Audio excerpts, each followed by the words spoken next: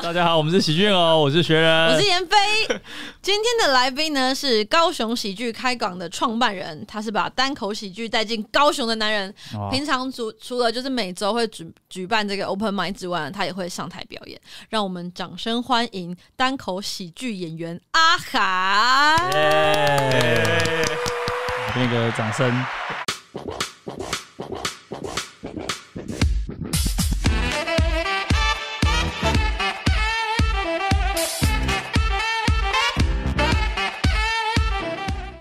好，嗨，大家好，我是阿海，很开心能来到喜剧院偶的平台，呃，频道，呃，对，上次是我看的那个那个马克吐斯前辈来，真的好好玩哦。为什么？就是就是他会学周星驰，你会吗？我不会。那你那谢谢大家，我们今天就到这边啦，请大家回去听马克吐斯那一集，哇，好好有趣哦。然后就想说，哎，可以跟呃跟这么喜欢的前辈，然后在同一个频道，然后被访问。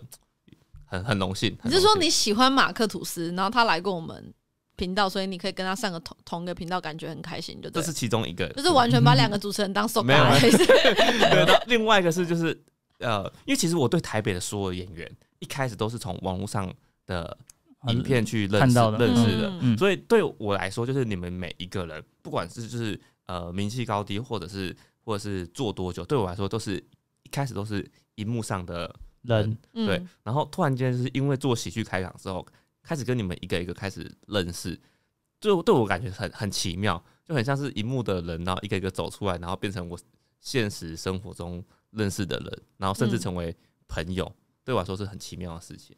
懂，嗯，那你从荧幕上认识我们的时候感觉怎么样？荧幕上认识你们的时候，呃，我那时候真的觉得你一定是个很难相处的人。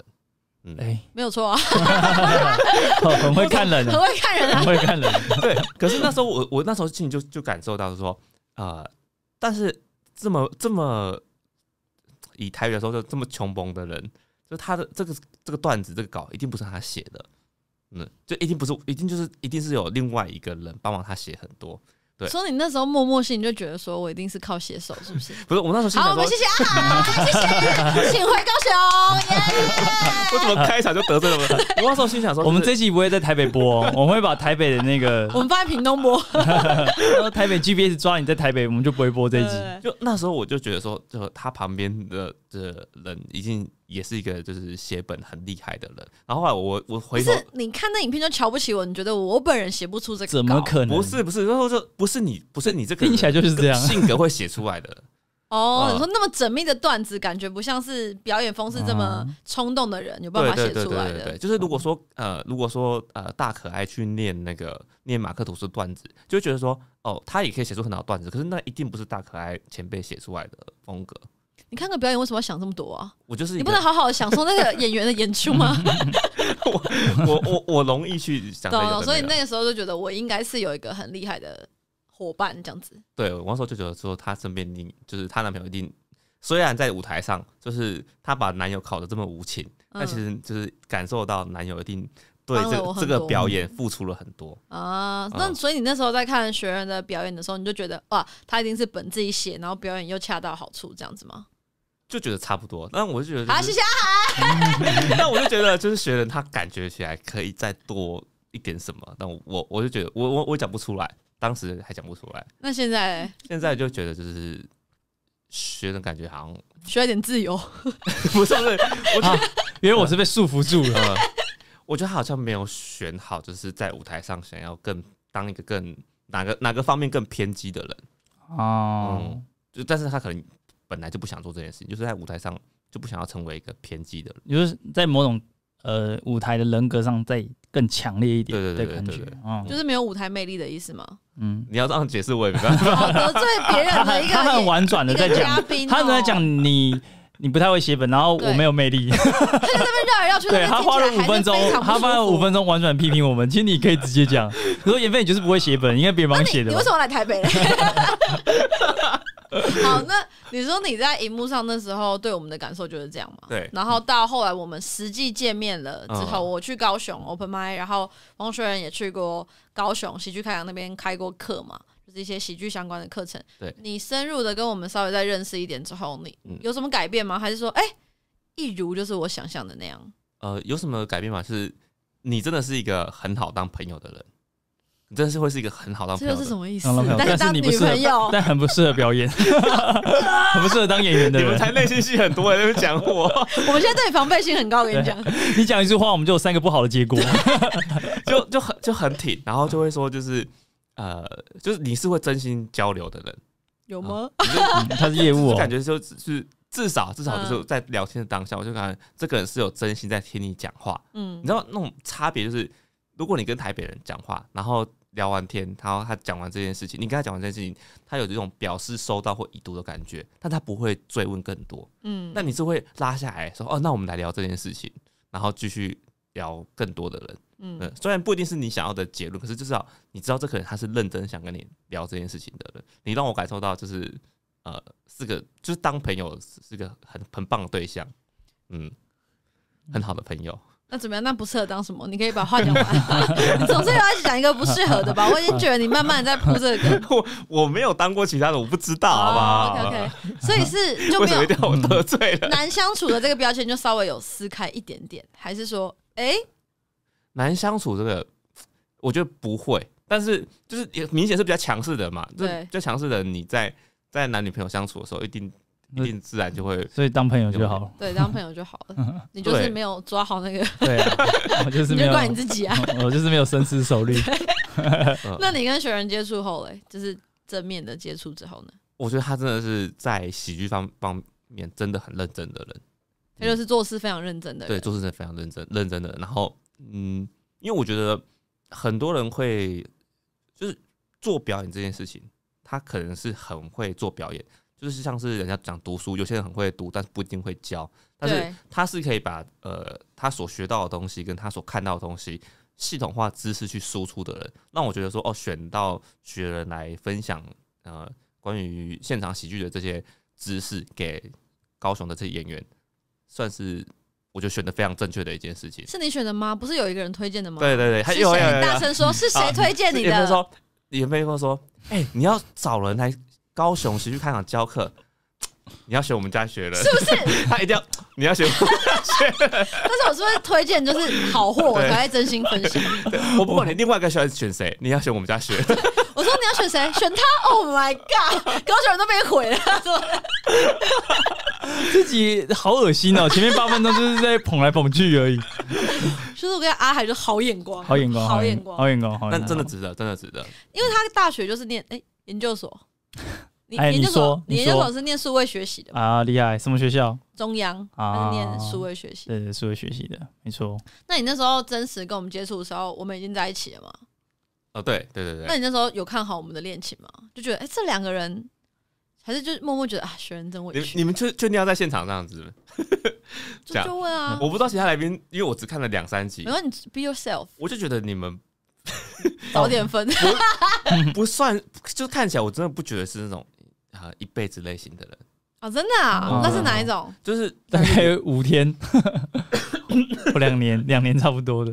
你知道吗？有些人就是在你的生命中，就是会会走进你的生命里，然后蛮长一段时间，然后教会你大部分的事情，然后再离开。哦，我前男友就是这样啊。我觉得你们，你前前男友教会你什么？像是我前男友教会我非常多的事。你确定要在这里听吗？你如果要听的话，我当然是也可以的，一条一条说出来。想听吗？来啊来啊！但还没有顾虑到阿海的感受。好，谢谢阿海。好，我们这集到这边，谢谢。剩下时间我们两个聊就好了。对，啊，你先回去。顾相机。啊，你坐高，你坐高铁可以回去。那你为什么觉得我们两个像是？你说感觉是我们互相教陪伴彼此，可能五五年至十年，但最后我们会分道扬镳，是不是？对，嗯嗯，我就是我，我看起来蛮像是那样子的。那你预估是几年？我预估哦，看起来这种感觉，我们现在已经两年多哦，哎，五五年左右吧。所以如果我们结婚的话，你就会，我会包大包的，然后告，就是因为你们打脸我，然后就是是代表我错了，会包大包的，多大包？起码八千块以上吧。好，不然姐姐在理嘛。也不好赚啊，对不对？对啊，那么简单，我们登记一下，盖个印章而已。对 啊，对，八千八这样子。对啊，拿身份证给你配偶栏给你看一看，那样子。对，没有，我会这样讲，是因为我觉得跟我跟我过去很像。啊，这是最后一段是不是？还是你过去讲，你们讲啊。嗯嗯。我们是，你知道 flow 是很自在的，你不用担心。就我我过去谈的一段一段从大学时期到毕业，然后到呃选好人生工作方向的的恋爱，然后花了八年多的时间，嗯，然后呃最后最后就是就是我不知道为什么他说他说我觉得我们没有未来，然后他就从人生中被抽离，就那个那个抽离就是一天之内我已经完全不知道这个人呃到哪里去了。因为他那时候在在海外，然后他断掉所有的社群连接，完全找不到这个人。从那一天之后，我这辈子再也没有看过他了。你们他是跟你同岁吗？你们几岁在一起？他大我一岁，嗯，所以就是二二十岁的时候。在我二十岁的时候，对吧？十九快二十的时候，那很年轻啊。对对对，然后 听起来什么悬案之类的，然后就就到到二十二十七八岁这样子，然后完全。中间就是，而且也不是说那种，就是中间有分分合合，没有没有，中间完全没有分手过，嗯，然后啊，经历过各式各样的事情，对，但到最后就是就结束。你为什么要把你的悲惨故事套套在我们身上？没有没有没有，我们都像你啊，我们都像你这样，我们很老才开始谈恋爱的，谁跟你二十岁在那边懵懂无知的时候，什么很像？没有，因为我想要听，我想说，如果我有听到相似的点，我就会觉得，哎。阿海讲话很有道理，但是我刚刚听了一下，我，想说，对啊，我们一直是比较常吵架，然后你就突然什么 消失了。二十八岁才开始谈恋爱，跟你可是不一样的。对，然后对啊，我我以前就是属于，就我跟他，我跟学员的感觉起来是像的。怎么样？就是比较直白内向的个性。我我们是一个比较学者个性，然后哦，学者对很多事情都可以整理去输出，然后会去呃用我们自己的方式去体谅别人，然后呃。女，我们的我我的我当时的对象，她也是她有什么感受啊？他他有什么感觉？她会强烈的表现出来。嗯，然后她的她的爱跟她的恨恨都是用用比较强烈的方式、直接方式来表达的。嗯，那你觉得她有问题吗？你说，对，当时她还是当时的对象，他有啊。可是可是我我相信我自己问题一定也一定也超多的。嗯，对，那我就觉得他也他有他有很多的一个。问题就是他必须当下就要先情绪先被解决，嗯，他才有办法去去去往后讲，嗯嗯，对，大部分的女生都是这个样子，然后都是这样，都是我是后来才知道的，是这样子，后来才知道的。那所以后来他就突然你完全联络不到他，就就大家突然间就那天打电话过来，然后说我们来谈谈吧，嗯，然后就感受到那个那个不妙的氛围。可是他去海外多久？啊。他去海外总共时间是一年多吧，但是他去海外的第三个月左右，你就感觉不对劲了，嗯，然后就分手了，嗯，哦哦，你说他总共去一年多，对，然后但是他在去第三个月的时候，你们就分手，对对对对对，而且我听说那时候你是有跟他求，准备要求婚的，是不？哦，我是有打算要求，就是他中间过呃年底前有要回来一次，嗯，啊，就年底就是跨年前要回来一次，我打算在那时候讲。还是他就是不想跟你结婚呢？有可能，对啊，而且他可能，因为他从来没有离开过原本生活的地方，嗯，他可能突然间到海外，然后发现就是太好玩了，天哪，人生还有这么多的选择。他是去美国吗？还是日本？他就发现日本的男生有型多啦，也不能怪他吧，因为台湾男生就不喜欢打扮，也很奇怪。不能说你，不能说你这个这个推断没有好险有来日本，知道我要的东西差一点，就要被那高雄人困住，差一点，差一点。然后他就他就讲了，然后就就你当就是因为在一起这件事情本来就是两个人决定，可是分开只要一个人决定就好，没错。对，所以那当他说要分开的时候，不管你怎么想的，那不重要了，然后就就分就分开。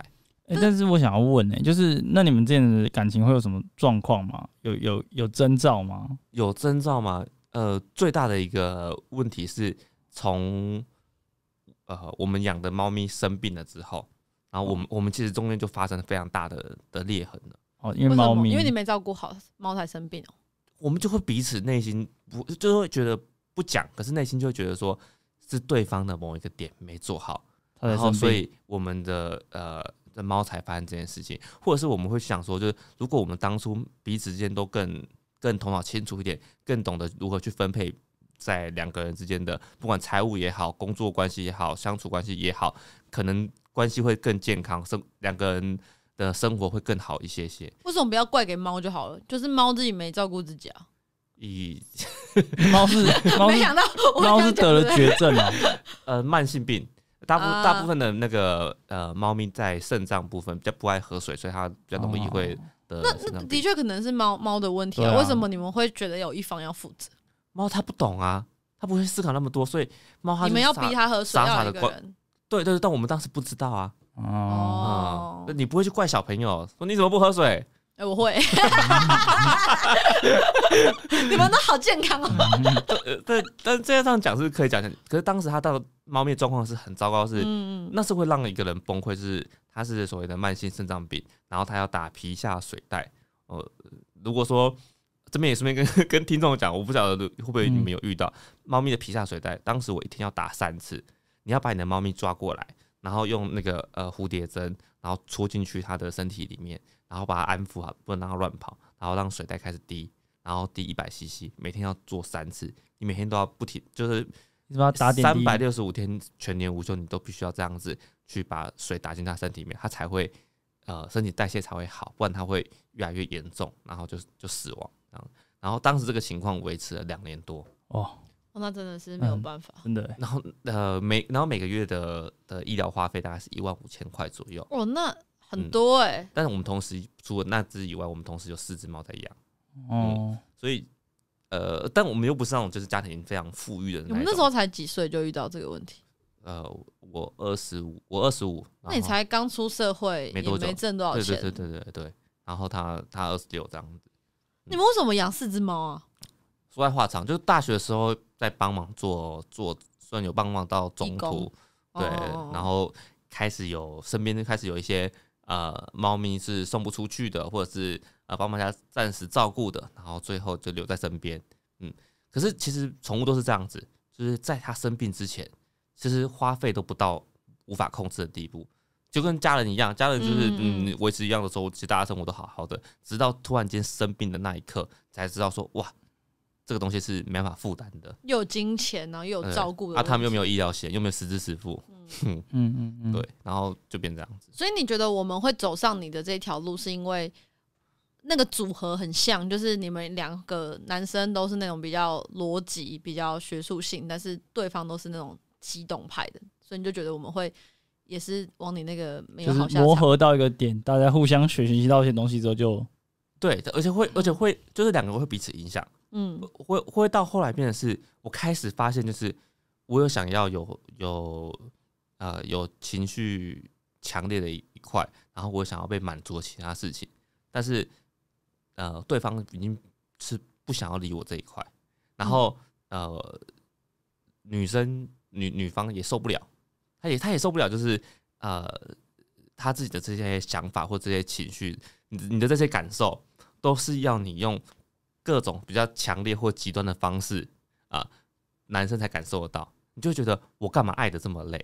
对啊，某一个极冒到某一个界限的时候，你们就他就讲出这句话：我干嘛爱的这么累？嗯嗯，然后就离开了。嗯，很正常啊。嗯，我觉得情侣都这样吧，就是我们也不会演，我们就是有去看智商啊。因为就是当有一方觉得哎已经受不了，但是还有感情，然后大家想要再努力的时候，有的时候就是找一些解决的管道嘛。嗯，比如说你。我们两个情侣之间一直沟通，嗯，但就是有一方觉得啊我很累，然后你也觉得啊你在累什么累？我不累吗？那是没有那个频率已经不对了，可能就是找朋友来，那朋友来没有用，那哎智商也不错，嗯，所以我在这边要 呼吁各位猫咪多喝一点水。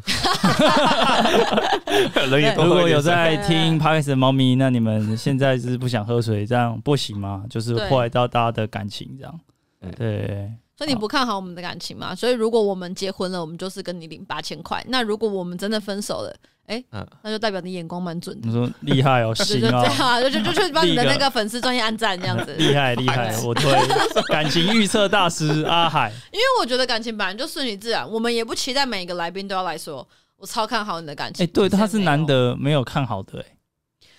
对啊，我觉得你这样很诚实啊。我觉得其他人可能不好意思。对，其他人不好意思讲。我知道，其实一定大部分的人不会在现场，一定不会这样讲，因为哪有人是劝劝离不劝和？我我也没有劝你，他不是劝，就是看看而已。对啊，因为我们两个的个性真的算是比较互补类型的，所以对于很多人来说会觉得哇，妍飞，哎，不是不同就是互补的。对啊，我也这么觉得，我也这么觉得。最互补的地方就是。比如说，我的确是非常没有耐心啊。我像我写本改一次我就不想改，但王学仁就是那种，你看他就改的好，他只适合做朋友，所以我讲做表演，对，所以讲是对啊，对啊，对啊。但是两个人都一样的时候，有的时候，比如说我们两个都是那种呃很有规划的，但我们两个都有规划的一个计划，就没有办法一起执行。嗯，反而是一个积极的配上一个消极的，他们俩才能成型。所以我觉得很多人会说啊，我们俩互补是因为看到这个吧。但是你也讲了一个非常好的点，就是我们常在吵吵架的点。嗯，所以我就跟你坦白，就是我们在看智商。啊，阿这边有什么想说的吗？嗯，没有。那你觉得智商看完，各位猫咪，你现在在喝水吗？你觉得智商看完有效吗？你自己觉得？嗯，我觉得第一次可能就是跟之前讲好像差不多。嗯，跟我们之前可能在聊差不多，可能要再看第二、第三次会不会聊更深入，会把一些。说天哪，我今天这种想法。对，我们之后在智商录一集好了，因为情侣智商也是蛮值得跟大家分享。所以我们现在把，我们现在还是把重点放回那个讨人厌的阿海身上，毕竟他是从高雄来。对啊，我们阿海阿海，你是在这个高雄呃创立？我们现在终于要聊喜剧，聊喜剧，真的聊喜剧。你在高雄创立的这个喜剧品牌叫做喜剧开港，对对不对？而且我知道是你是贷款来做这件事情哦。呃，我是贷款，但其实。呃，不完全是为了喜剧贷款，因为我从呃公司离职之后，我本来就想要做事，变成是自己当一个呃 freelancer 也好，或者是自己工作室也好，那都会有一些呃必要的花费，所以我就是想说，就是那我就贷款，然后可是同时说来话说来就是其实蛮蛮奇妙，就是我想做工作室跟想做喜剧开港，几乎是同样的时间点产生的，所以很少人会一次同时开两个呃工作室或公司行号。但他们就是一起发生了，然后我也就接受这件事情，所以我当时的这一笔贷款其实同时为了这两边的花费去贷的。你是登记两间公司哦？对对，它是两两间不同的哦。所以一个是做喜剧，那另外你在在做什么样？另外的话是我自己自己的工作是在做关于呃影音工作的，就帮像是帮人家写呃广告文案，或者是帮人家呃拍摄呃公司的形象影片，那其实才是我原本的本质。嗯嗯，所以你在开创品牌之前做的是那种影片企划的角色吗？对对，然后你就做了一阵子之后，觉得合不来创业这样？嗯，合不来创业？因为你年纪轻轻就创业了嘛，你几岁创业的？二十二十七、二十八那边。对啊，你是怎么样决定说好我就来来弄一个？呃，会想弄一个的话，其实是是两个原因，嗯，一个比较一个比较正向，是我从很久以前就很喜欢。啊，就是关于舞台表演跟跟啊行为艺术这个东西。你是念这个的吗？不是不是，我是念那个应用日语系。念应用日语系哦。对，可是很很早就放弃了，因为我们系上就是有那种什么高中升大学就已经 N one 的啊，有那种系上是有那种中日混血的，我就觉得说 你怎么念也念不赢他们，是不是？他是母语哎，然后我到大大一下我就放弃用日语当工作，就是有有考过，然后看得懂 A 片，然后看得懂日。日本动漫就好，所以你有毕业？我有毕业哦，你有毕业，OK。这样听起来好像大一就放弃了，什么意思？我们是不是我们是怎样？我们的来宾学习都很低，是每个都问这个问题。超想要喝辍学什么之类的。OK OK，有有有，国国立大学有毕业。OK OK OK。然后，可是大学的时候，就是因为跟系上的一个男生，就是我兄弟小伟，他很吵。嗯。然后他们学学长就讲说，就是。呃，你们这么会嘴，不然你们上台去嘴啊，就叫我们去当学校的活动主持人。嗯，我们就从那时候开始做学校的呃活动主持，像什么圣诞趴、联合迎新等等，然后我们就开始做这种活动的主持。从那时候我就开始很喜欢这件事情。嗯，然后再加上后来我在呃看关于行呃行为艺术呃的演出，就有一个行为艺术叫做叫做万里长城，然后。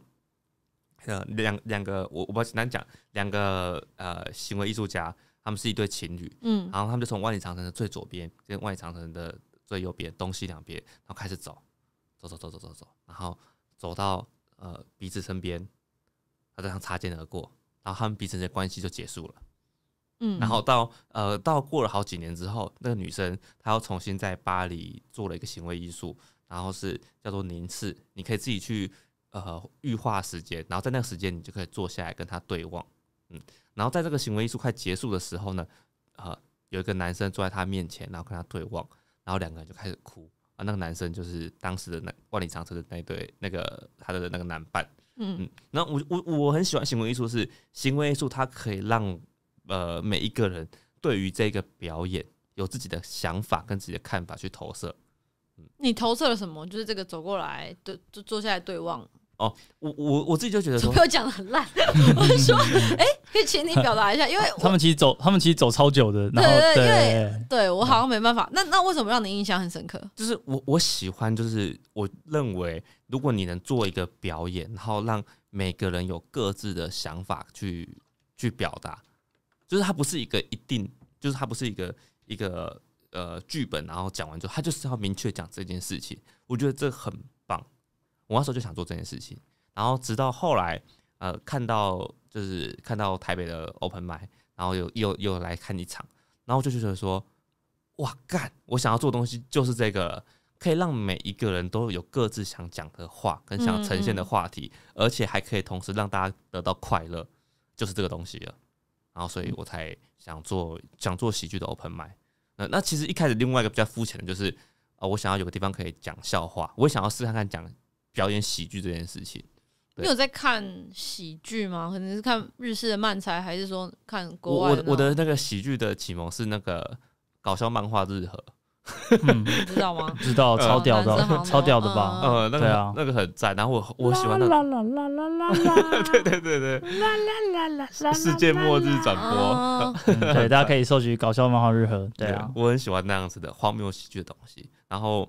呃，在这这几个关系的叠加上去之后，我就觉得好，那我想要做这个。当时我其实根本就没有意识到，就是呃，像是像是沙泰尔娱乐伯恩他正在从台湾崛起，嗯，只是刚好在那个时间而已。对，但我但我幸运，就是刚好呃前辈们把台湾的喜剧带起来，我把它带起来，然后。然后我刚好也投入了，然后所以做出这个品牌。跟我一起喊“真不万岁，真不万岁，真不万岁”，很不好意思。这个什么邪教电台？所以你是说你在大学的时候虽然念的是日文系，但是你已经开始接触到活动主持，对不对？对。然后毕业之后呢？你做的第一个工作是什么？我我毕业之后做的第一份工作，其实其实蛮复杂。是我在呃我在大学以前是餐饮系，嗯。然后我毕业做的第一份工作是，呃，去一个素食园区当储备干部。嗯嗯，然后我那时候最喜欢做的事情是，呃，煮素食的料理，然后跟冲咖啡。我我还要去考，就是乙级跟咖啡师的国际证照。哇！我甚至曾经有一度想要做小餐车。嗯嗯，所以我我是喜欢料理这件事情的。但是就在那边待了两年，就不知道干嘛。我完全那时候完全没有什么想法。然后在那之后结束之后，又去。又去咖啡店，然后然后拉了一年多的冰奶泡，然后才到才到前东家去当写手。嗯，可是是怎么样跳过去的啊？你原本做餐饮做好好，你怎么突然跑去做写手？我看你很会拉奶泡，要不要写写文案？写个文案太没有逻辑了。所以 why 就是这个是怎么来的？觉得有趣，嗯，当时觉得有趣，然后我不想要再继续待在那个那个领域，因为我觉得餐饮业。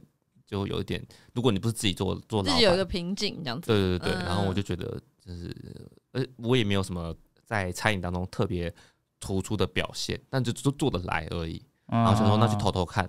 哦，就是自己偷偷看这样子。对对对，然后完全没有任何的相关经验的经验就上了，然后就上了。嗯，然后上的时候就是好险，在那家公司，他们他们也不没有什么制度可言，嗯，所以才可以就是顺利的。对对对对对，然后我就在里面就是瞎搞瞎写，然后。就莫名其妙还算摸到了一些东西，做得来，嗯，然后后来就进到那个呃呃，可以讲这样说，进到波特王的频道底下，嗯，然后我在那边做了就是两将近哎两年多一些些，嗯，就在那边写企划这样，对，就在写企划，写那个写脚本这样子，然后才才真的算是变成自媒体这一圈，嗯，然后持续有去呃接触，有去。有去研究。啊，刚好大学的时候我又是呃摄影社，所以影像的东西也还会一些些，嗯嗯，然后在那结束之后，才想说，不然影像工作室在南部自己用好了，所以才成立自己的影像工作室，所以变成是影像工作室跟喜剧开港都是有点呃呃运气运气，然后破误打误撞，然后成立，然后继续做到现在。那你在餐饮业跟咖啡厅还有文字企划都是在台北是吗？你在台北工作还是没有没有没有在高雄，但是有呃有来台北出差过。哦，所以波特网他们也是在高雄。对对对对对。哦，懂。对。那你那时候要创这个品牌的时候，就觉得你你不觉得台北的市场比较好吗？还是什么？你为什么要在南部做啊？不觉得我，好像挑战有点大吗？在台北的时候，我从来没有想过就是来台北挑战，因为我来台北几次，呃，生生活或短居都不太长，但是就觉得这个城市不属于我。嗯嗯，就我没办法在这城市中很很自在的感觉，但我在高雄可以。也许是我在那边读书读久了吧，我从大学就在那边读书，然后在那边生活。那我是从澎湖过来，然后所以我呃对对台湾本岛跟对城市的想象，其实都是在高雄。你是澎湖人哦？对。那你在澎湖长到什么时候才来台湾的？高中啊，嗯，到高中毕业之后才过来。因为澎湖没有高中。我我们我我们我呃澎湖有高中，澎科澎科大吧？澎湖有大学，澎湖大学。你你在说是高中还是大学？高中有有高中，有高中也有大学，可是。我们本岛，我们我们岛上是没有的。我我就是哦 就是台湾的岛，对对对，台湾的本岛，然后到澎湖本岛，我是在澎湖的离岛。嗯，呃，我们岛上最高学府是国中，然后在望安国中。然后我我我在我毕业的那一届，我们班上就只有就是呃一二三四，我们班就五个人，怎么考都是前五名。真的哦，那你跟我小金门的感觉很像啊。小金门就是金门的离岛，嗯，然后我。哦，可是我们国小有二十二个人，I'm so sorry。我们更离岛，我们是三级离岛，厉害厉害。那你那时候从澎湖来高雄，嗯，有感觉哇，这个本岛不一样吗？跟澎湖不一样，还是跟嗯，当然觉得不一样。可是我是很，我是蛮自卑的，嗯嗯，因为我蛮不习惯，就是这些城市的小朋友，因为大家都很流行。然后大家他们会说 “biang”，你很 biang，这样吗？他们很流行。来的 你不 biang，是吗？那个时候是流行 biang 吧？没有，我们那时候是样跟潮。样哦，潮很潮，是因为那个飞轮海是不是？样嗯，那时候还有那个三点水那个样字。三点水啊啊样哦，所以那时候你就发现这些流行语你都不会讲，我都不会。那那怎么办？大家排挤你嘛？就说回回澎湖吃澎湖咖喱，这样吗？所以 没有吗？对对，那时候回去吃你花枝丸啊，这样子。那时候大学就是因为就是因为啊，我觉得人容易这样子，因为自卑而用自大去去去掩饰啊。你用你自己会的事情，然后看短线，然后以为自己很屌，然后去做这些事情，去掩盖你自己对自己自信的不足。嗯，算是这样子。你说你那个时候这样，大学的时候是这样子。那你那时候会的是什么？我那时候会的时候就是，呃，就是无脑的勇气。就因为你见识很少，所以你以为这些事情是这么简单，然后所以我就反而有那个胆子去做。对对对对对，我就是一直来都是我的呃算优点吧，就是我就是会啊很很很勇敢去尝试各式各样的东西，即使很容易失败。开港也是算是这样子，因为当时讲来开港，就是这个是蛮抱歉，就是我对开港初期前前一年。很愿意来支持喜剧开港的观众，我都觉得你们很有勇气，因为我都不知道我在干嘛，我都我都都觉得当时的演出不值得那么多的收入。他不是你预期说，我把它捐出来啊，对啊，现在捐出来啊，我现在就是回馈给我们啊。好，我们这里观众可以抽八千块。你的品牌现在两年了嘛，对不对？对，喜剧开港，所以你有二分之一的时间，你觉得你都不知道你自己在干嘛？呃，不是，有二分之一的时间都是在试错。哦，对啊，都是在试错，因为我们不像台北有有卡米蒂、有二三的这些前辈在在做，就是我们在做的时候，而且在座的这一群人不是说很有概念的一群人，或是任何什么剧场全没有。就是一个门外汉，一个以前是在咖啡店冲咖啡的 的一个一个门外汉，然后一群人菜鸟做这件事情，所以一开始其实基本上都在试错，一开始连什么写写笑话的呃呃反逻辑，或者是怎么样去设定那样一场表演的的棒次安排，然后观众的感受 flow，这都完全不懂。你那个时候就是你去谈了场地。嗯，让大家来这边表演 open m i d 那你的演员是谁？不知道啊，也不知道，你就直接开了。我就直接开，然后叫大家就是来来报名啊。那那时候的演员多吗？那时候演员也是也是有，大概都是七个八个，但是很容易重复。然后或者是上台，就是他根本就不是来讲喜剧的，就是偶尔你们看到那种，现在台北应该很少这种人，就是他没有任何的逻辑，他就在分享我我这两天发生什么事情，看到什么事情，然后讲到一半就。我我也不知道有讲这干嘛，会有这样子的的人存在。他说我觉得这个好像蛮有趣的，可是观众一点都不觉得有趣。嗯，然后会有这样的人存在。一开始真的这样，台北现在真的是比较比较少这种人。嗯，因为其实开港初期我有去一次，我不知道是你们那时候开了多久。嗯，哪半年？在哪边的？第一次。在八五大楼的一个商办空间，那时候是那个时候，那那还是第一年，很前期嘛，对不对？然后我那时候去的时候，我就看他们，呃，其实我我必须就他刚刚讲的啦，其实可能大家对喜剧是比较没有概念，嗯，他们没有很完整，可能大家觉得段子的样子，可是南部人上台的台风真的是蛮自然的，就是蛮放得开的。我我真的觉得，就是有些人一看就是新手，可是他们在舞台上蛮蛮自然的，这是我觉得很。可贵的地方，然后更可贵的是，他们那个秀结束之后，他们所有演员会留下来开一个座谈会。嗯嗯，就是阿海会站在那边，他那时候也也没有多好笑，但是他就会说：“ 来来来，你刚刚在什么地方？我觉得怎么样怎么样可以更好。”虽然我不知道自己在干嘛，但是，然后他们真的是所有的演员就会尽量的给。哪一位演员对，然后反馈，然后这个演员 OK 之后就换下一个。嗯，就他们不是那种我来教你啊怎么样，是他们真的很真心在那边说，哎，我觉得你刚刚这个怎么样会更好。嗯嗯嗯，就是那时候已经可能结束活动都已经十点，对啊，十点多了。现在也是，到现在都是。对他们就是有这个习惯哎，所以我第第一次看到的时候是有一点感动的。嗯嗯嗯，但后来我就想说，哎。多看几次，觉得还是就回家。现在其实越来越短了，现在越来越短了，因为大家就有些人慢慢已经摸到那个方式。对对。那你整个品牌两年了，嗯，然后现在演员跟观众都多吗？你觉得运营的状况怎么样？运营的状况怎么样？呃，上上一个就是我们现在变成是，我们从过去是每个月一场，嗯，然后走到两呃两个礼拜一场，走到现在基本上就是每周都都有一场。演出，然后 open 麦吗？每周都有一场 open 麦的演出，然后每个月月底开始有我们自己的售票场。我觉得呃，该是时候做这件事情。然后上一场的六月的周末夜也来到了，呃，卖票超过一百张。你说上一场周末夜卖了一百多张，对对对，那是有谁啊？怎么会卖这么多张啊？我们上一场的阵容组成的高雄在地的演员是我们的残影狂龙阿贤，然后听说他卖了很多张，还有我们呃素食店小开志宇啊，以及我们啊特别邀请喜剧开港的好朋友林妍飞，是我吗？是我是不是？好了，爽了没？爽了没？就是邀你来，只需要你讲这个。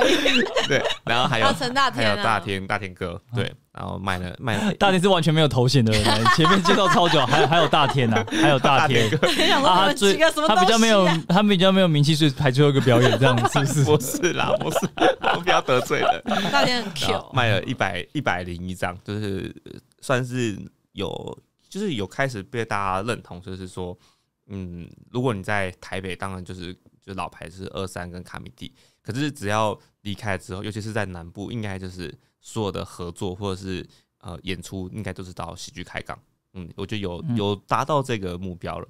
嗯，你这两年期间都没有想过要放弃吗？因为一开始你看看的人应该也不多，比如说南部人没有这个习惯，就是买票看一群人讲话还不好笑。嗯，然后再来就是演员可能也没有那么多。对，然后或是那时候南部的观众可能只认曾伯恩、黄豪平，然后觉得我就是要看这些大咖啊，你们南部又没有。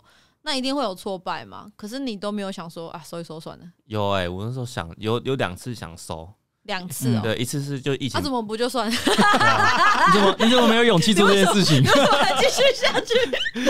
你不是说你为什么？你不是说你很勇于尝试吗？放弃也是一个选择啊。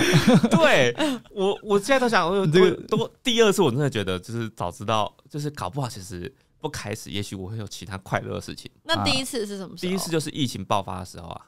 嗯，疫情爆发的时候开始所有的，就是完全都中断。那那时候经营多久？经营那时候经营就是开始呃，慢慢的有些演员开始比较稳定了，懂？好不容易，对，开始固定有可能大概快三十个，平均快三十观众来看，然后开始有一些有一些支持，然后开始呃粉丝数呃粉丝专业的关注数有超过一千五的时候，那大概那时候，然后就中断，然后中断的时候就觉得要再重新让大家。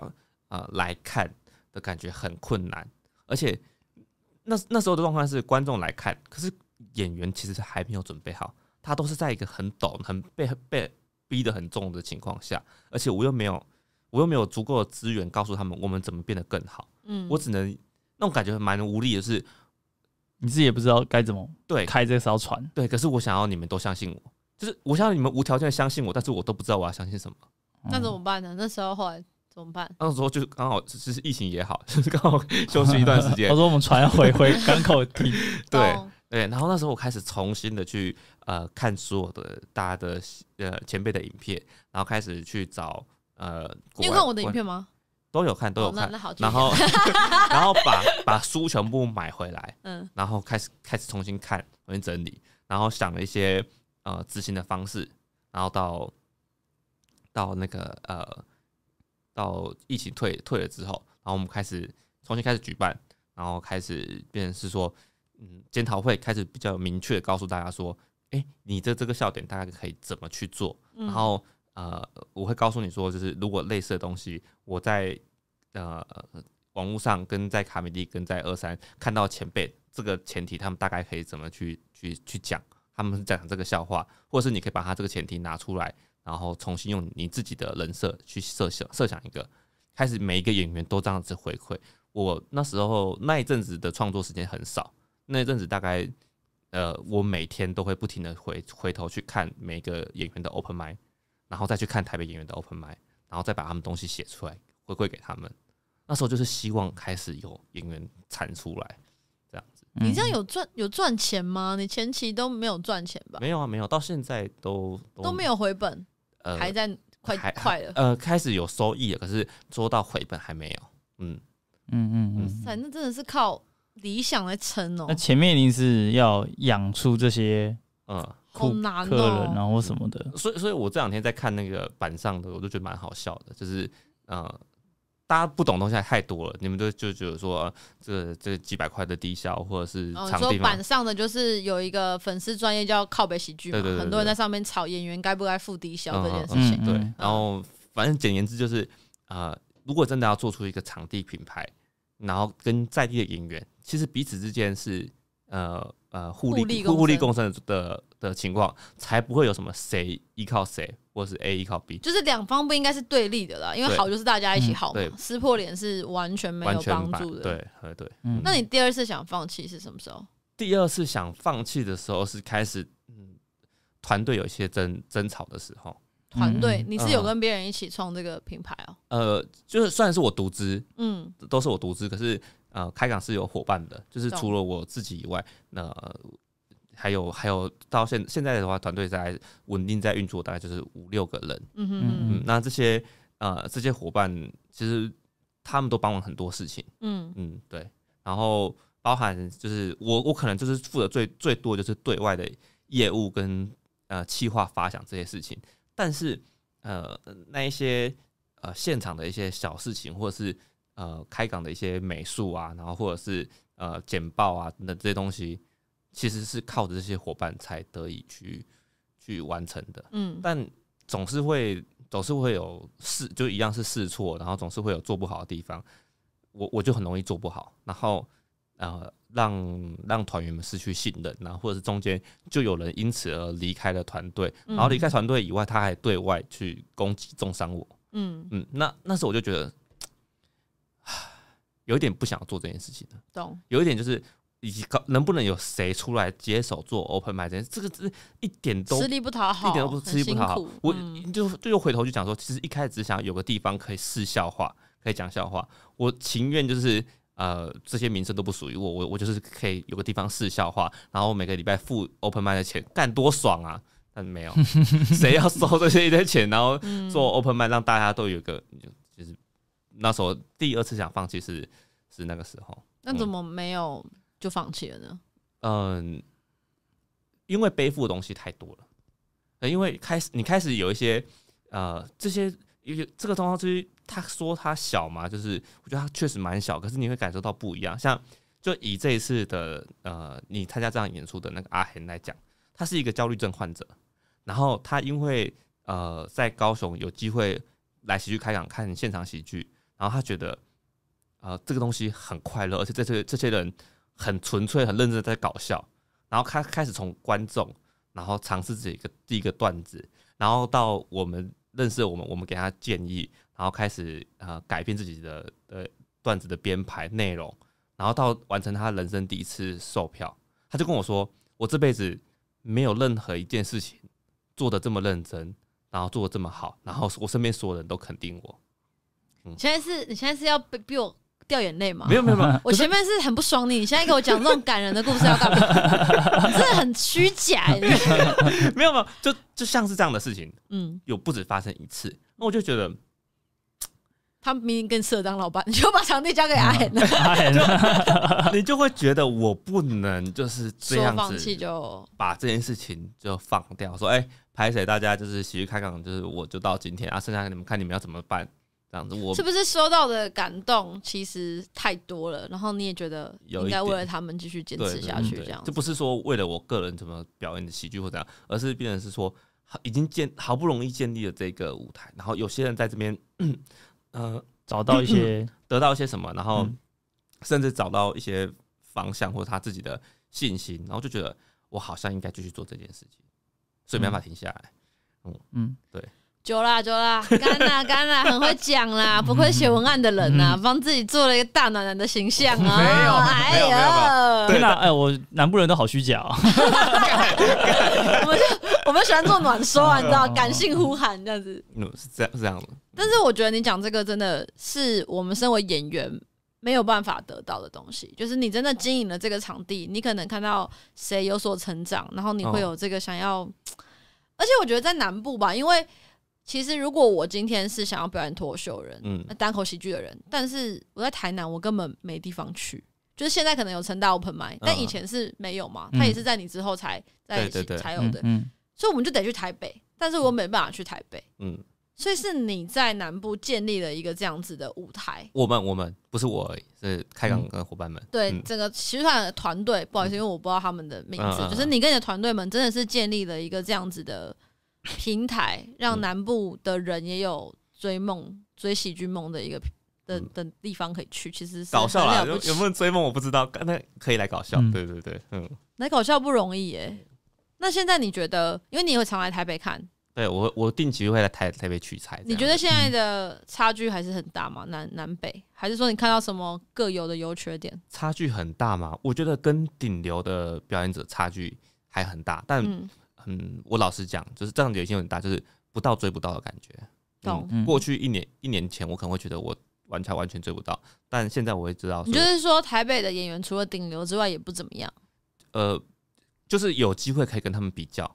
嗯，就是就是可以跟他们比较。会钓鱼哦。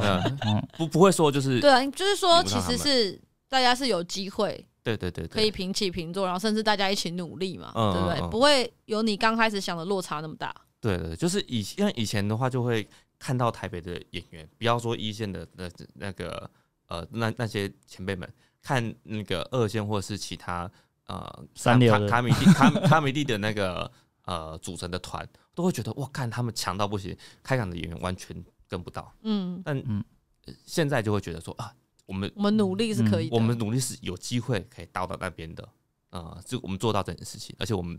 呃，呈现的东西开始有给人家感觉是不一样的。嗯嗯，那你觉得差异在哪里？不一样的是，你觉得南台南的演南部的演员跟台北的演员有什么地方是你感觉哇，这真的是两个地方特色不同的吗？呃，南部的演员，我们现在他先做的第一件事情就是上台先讨喜。嗯，我们不先不先要求段子的惊喜程度。嗯，这是呃，我有我有刻意为之的一件事情。第一个是我把呃，舞台架的特别高，嗯，然后让要让他们更像是一个随时可以主持的演员，嗯，然后第二件事就告诉他们说，你上台你要先讨喜，我不管你笑话长什么样子，你上台要先让大家感受到你这个人的呃状态，你可是一个一个故意氛围压得很低的人，或者是你是一个很王八的人，或者是你是一个一个搔首弄姿的人，就是你人设先完成，你再来做。这些笑话的东西，你觉得你有特别交代？我有特别呃，只要是在检讨的时候，或者是我都特别往这方面去。嗯，你为什么这么在意这个点？嗯，这在意这个点吗？他就说，我就想要直接开始讲笑话的话呢，也是可以啊，也是也是可以啊。就是他如果一直我我会说我的建议是这样，但你想要，但是我很认同阿海的这个想法。我觉得上台好好打招呼是非常重要的，因为可能我是业务吧。比如说我们去哪个公司做简报还是干嘛的，一定是要先关注到这群群众，让群众知道，哎，你要开始哦，他们有一个心理准备，然后也喜欢你的样子跟带来的氛围，他们才有办法听你讲的话。但是如果你上来很随便的说，哦，大家好，我是谁，然后开始讲，其实。你就算已经讲了三四句，大家根本还没有在你的那个状态里面，所以我觉得他讲的是对的。你说为什么要这么做？为什么做的考量？是因为我想要啊，因为现在的的喜剧的呃出圈去表演受受邀演出，呃，除非这主办方特别让你们去做喜剧演出，嗯，不然的话，他其实其他跨组的领域的机会并不是那么多。嗯嗯，我我想要的是呃，原本就有拥有的市场需求，然后。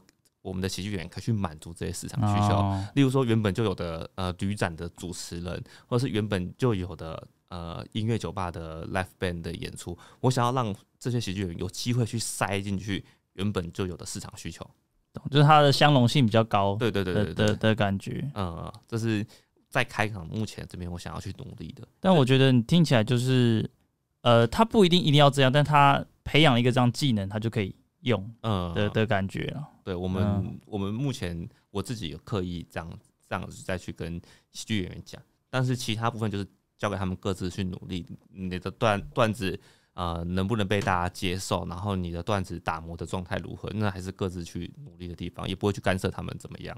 懂嗯，那你现在对你的品牌有什么期待吗？品牌有什么期待？是你明年度的规划是什么？呃。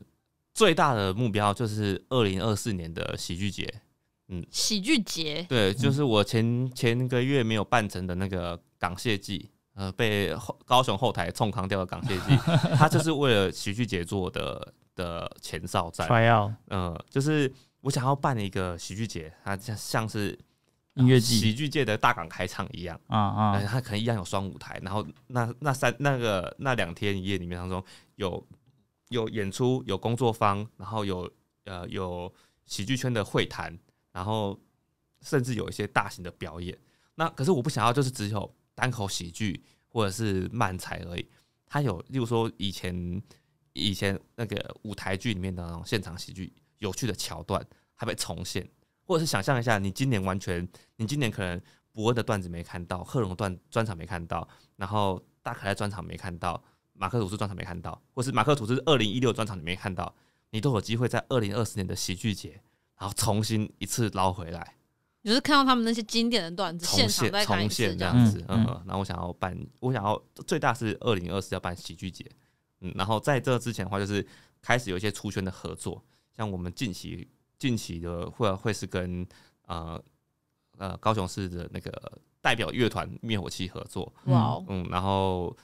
呃，还有安排一个是，因为我们叫喜剧开港，可是我们从来没有真的呃到港口去，然后我们想要就是租一艘船，然后在船上讲喜剧，开船出去，嗯，在小快艇上面讲喜剧。我想要做各式各样的尝试，嗯，而不是这样子。我觉得这样也没有错，可是我觉得如果说一直不停的在喜剧的呃现场，然后打磨喜剧，只用原本的方式去去演出的话，我觉得。比较有限，对不对？比较辛苦，我觉得我老实讲比较辛苦，但这其实是一个正确的方式。但我想要用不同的方式去尝试。嗯，那你跟灭火器的合作是是怎么样的？上半场是喜剧演出，然后下半场是他们的那个不插电的音乐会，然后并并且同时会有他们的不插电音乐会有一些改革，是喜剧开港的人写的段子，然后给灭火器的呃邀请来的乐团去唱。哦，嗯嗯，对，懂，听起来是。很很伟大，也不是说伟大，很很大的一个事情呢。就是你要做喜剧节啊，跟你现在开船出去开船出去讲段子，都是我们好像台北没有做过的尝试吧？对不对？嗯，就我比较喜欢就是搞这些无为博的东西去去结合。那喜剧节会邀请学员吗？喜剧节都会邀请，喜剧节全台湾的喜剧演员都要参加，都要参加，都要参加，是为什么？不然感觉没那么，因为我们人没那么多，没那么多吧？没那么多吧？然后就办那种什么一整天八个小时 open 嘛，一直讲。之前不是有类似这种吗？大舞台跟小舞台，就是音乐季，就是很很这种的啊。对啊，对啊。日本还有办那什么夫夫举还是什么的一个，日本有一个音乐节是办在山上。嗯，然后那个场地都超超远，然后你可能到这个场地到那个场地要走很十几分钟还是什么之类，然后反正大家都在表演，有大舞台、小舞台。对对对对，音乐节就是很很这样的东西，这样对啊。那我就想象上喜剧节就是一个很多地方，然后这这里有个舞台在讲，那那边有个舞台在讲。那这个打卡的时候，这个舞台人就全跑过去了，这边没人看。对啊，对啊，对啊，双双舞台，然后音乐剧就这样子啊。你是享受那个氛围，然后持续有很多东西去呈现，那你就你就像是去尝试一样。嗯，我觉得阿阿海今天讲的蛮蛮精彩的。嗯，因为我跟他其实没有聊到这么深，还是有聊过，但我都忘记了。不知道。对，反正可能可能就是好像是聊一些片段片段啊。对对对。但是我觉得他今天带来的故事，还有一些场地方的想法，是我们真的是没有没有想过的。而且我也不知道猫咪要喝那么多水，还有猫咪不喜欢喝水，这是我今天收获最多的。对，那我们节目都会有一个那个叫什么？那叫什么经典问题啊？灵魂拷问，灵魂拷问就是灵魂拷问不是第一题吧？就是没有没有没有，那只是随口问问，随口问问。还有啊，灵魂拷问就是你你跟我们一样大对不对？二八。二八二五二九要今年要三十，今年要三十。对，那你你现在有伴侣吗？有啊。那你是想要结婚的那一派，还是你不想要结婚？我想，我是想要结婚的那一派。哦，他之前就有求婚的啦，只是被拒绝。不好意思，不好意思。我我是第二次。啊，所以就是有啦。OK OK。那为什么？那你觉得婚姻对你来说为什么要？你为什么想结婚啊？是为什么想结婚？我想要有一个人可以可以陪伴，在一起也可以啊，在一起也可以陪伴，但是。嗯，不知道哎，就是我我可能我会我很难信任一个人，然后我觉得我自己也很难被人家百分之百的信任。可是我我内心就有这个追求，我内心就有一个追求，是我可以把我自己百分之百的交给某一个呃对象，然后透过这个仪式哦，然后呃，不管我今天就是多么混蛋，或者说今天做多少糟糕的事情，或者是呃，可能对我我就是错的，但是到到家之后。就会有一个人可以百分之百，就是呃接纳我，然后给我鼓励。即使他跟他跟全世界站在对立面，那我也我也愿意为他这样做。听起来你们俩好像是两个亡命鸳鸯的感觉，而且为什么要夺混蛋？多混蛋！你的女友听到这一段，会怎样？我贩毒有什么错吗？所以你是想要一个会支持你贩毒的伴侣，对啊，然后透过婚姻把他绑住吗？我不过是酒驾撞死两个人，有什么好不听我？很容易被别人吓。你可以讲说，就算我有点小缺点，他愿意鼓励我。说不是，就算我跟全世界，因为我知道我就是很容易在外面。被人家讨厌的人，对，哎，对我，因为没有，我觉得他是会用一些呃比较迂回或者婉转的方式，但他结论很容易被别人收敛成是一个很值得吐槽或者是对立的不好的一个结论啊。你说就是大家如果听结论觉得啊你很自大，你你很怎么样，或者对对对对对对，就你会感觉他好。好，那我知道，那你以后讲话不要结论。没有，是说他很容易被别人下那个结论啊，所以你是想要就是一个会完全支持你的伴侣，嗯，对，但是透过婚姻来确定他会完全支持你，对，然后对方也可以透过婚姻得到你完全的支持，对，所以没有婚姻就没有办法做到这件事情。嗯，我觉得可能是可以的，可是。不知道，就是我真的是不是像猪肉要被盖章一样，就是你是干净的 这种。你讲的好廉价，你讲的什么？哎，你们不要台瞧不起台湾猪好不好？没有，我是说就是要盖这个章啊，CS 还是什么的那个。那你觉得怎么样的？你的女朋友有让你有想要结婚的感觉吗？有啊，有啊。那为什么？是她跟你个性很适合吗？还是他做了什么事情让你觉得老子就是要娶你？啊。第一个就是，还是因为你求婚已经失败一次，你就赶快再试第二次，因为他很他很勇敢。没有没有，他呃，就我的对象第一个第一个点就是，他要是一个过分善良的人，因为你很坏，是不是？因为我对我道德感很低。到底谁会把女儿嫁给你啊？你好，谢谢海。就你是说你喜剧看的是你的贩毒基地，是不是？你问你有这么坏吗？我我容易就是我我自己知道我本性比较糟糕，然后糟糕，你有你有犯过罪吗？犯过罪，怎样算犯？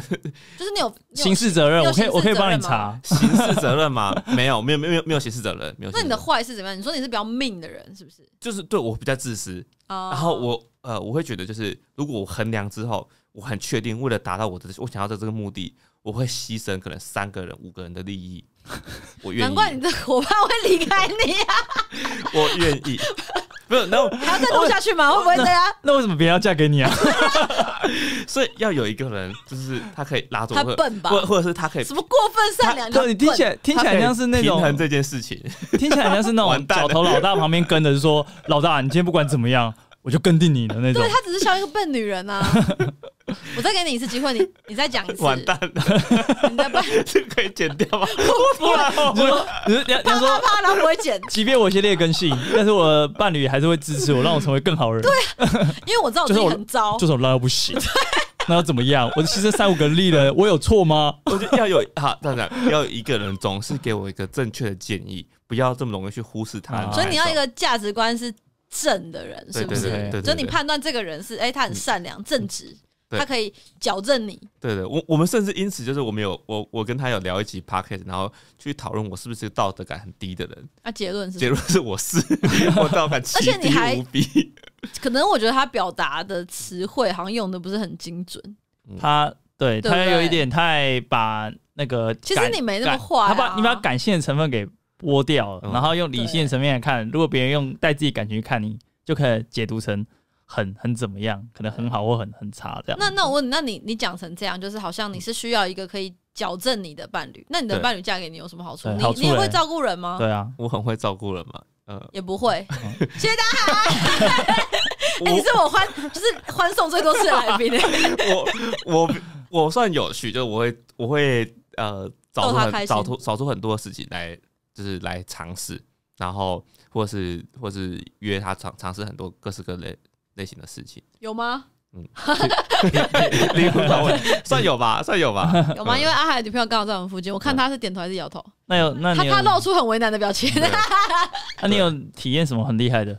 体验什么？在他做过什么事情？就是浪漫？哎，是你，就是你想到如果要嫁给我才有这个好处的。你嫁给其他人，对啊，nothing 没有，就我才会带你去吸安非他命，或者 说。什么什么？人家其实还真的开罚单，我跟你讲，要被他说这个地方感觉怪怪的。但但类似的事情，就是我可能会会想，就是例如说，例如说，呃，大麻大麻烟草在合法的地方，我可能就会求他去，可是他他本身就可能就不会想要尝试这种事情。你们的爱情现在快乐吗？你们你们感情是没有问题的吗？没有问题。用药物要用要用药物来控制，对，或者是或者是我会强迫，可能对方不。就是一般男朋友可能不会那么去强迫，他可能对这样这类型的影视作品或者是或者是游戏可能没有什么兴趣，我我就强迫他玩。哎，说你看这个真的很赞，你你要强迫这个字，哎，你就是等于说他？你觉得他他喜欢的东西可能就是这这边，但是你会给他鼓励他。还是强迫强迫他？那你这样跟我一样啊，只是我没办法强迫他，我他会生气，所以我就自己停损就算了。我说，哎，这个游戏很好玩，要不要玩？就说，就像就像你推荐猪猪肝都没有，你怎么可以不看这个东西？哦，就你知道吗？就是所有的人，大部分的百分之九十人都喜欢这个东西，代表说他一定有他的道理。你试试看。我跟你讲，王璇不喝牛肉汤，哎，嗯，这是不是大逆不道？还是你也不喝？我喝，我怎么不喝？就是你，你能，你能想象这世界有人？对，我我我就尝试啊，他就不喜欢啊，会尝试啊，那怎么办？我是个愿意尝试的人，他有尝试，他比较不愿意尝试，所以我每次都会想办法。你现在跟我要跟我对战吗？我 那我们要录录另外一集，你们开始吵架。他的兴趣，他兴趣真的是比较说没兴趣就就没有这样。然后我现在开始在思考说怎么样去。鼓励他，然后应该会放弃啊，我通常放弃。哦，对，不行，我一定要就是他尝试看看，他可以，他可以尝试玩一两次之后说不要，我真的不喜欢，但他不能不尝试。所以你觉得你的女朋友带给你好的爱情？是有有有。那他好的爱，所以你对好的爱情的定义就是说可以矫正你过低的道德观。然后你要去强迫他做所有事情，是这样吗？我给你再给你最后一次机会，你讲一下你觉得好的爱情是怎么样？为什么女朋友给你好的爱情？他给我，他给我的好好的爱情就是不要再用什么强迫那种字眼哦，你自己斟酌好不好？他会给我呃正确的价值观跟不一样的的观点看法，嗯嗯，而且大部分的时候都是很有道理的，这是他很棒的地方，嗯。然后再就是他也算是很愿意去去尝试各式各类型的活动，嗯。然后在我的推荐之下，他都会愿意试试看。什么在我的推荐之下？男性说教，男性说教，我在说呀。好，我把阿海送走了。他看这部片是因为我推荐他去看的。好，那我们大概知道阿海就是这样一个大男人，然后 低这个道德观偏低。对，好，所以大家如果有时候 去感动那段呢，你先把全部剪掉了。大家如果去高雄，哎，有去喜剧开讲的话，哦，就可以这样经过就好。欢迎来玩啊！欢迎来，欢迎大家如果去高雄的话，一定要去喜剧看看看表演，然后也可以跟阿海拍个照，然后问问他现在价值观到底是低落到什么程度。可以吗？可以吗？暖有啦，中间幸好那一段，真的幸好那一段，对，后面分数整扣光。好，好，让我们掌声谢谢阿海，谢谢，拜拜，拜拜。